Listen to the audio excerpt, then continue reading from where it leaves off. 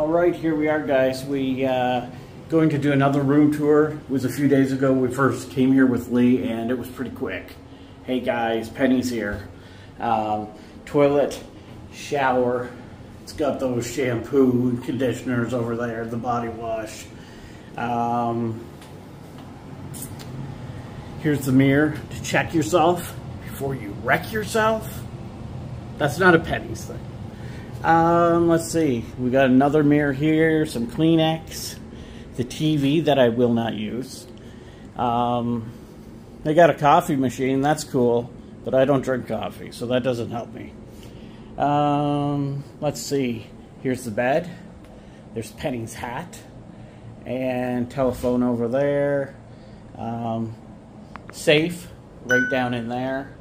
Now, I think they used to have fridges, but it doesn't appear to be the case anymore.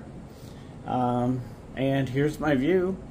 See a lot of rooftop, but uh, you also get a good view as well back in there. You got the LINQ, Caesars Palace. You can see the Rio. And there's the Mirage.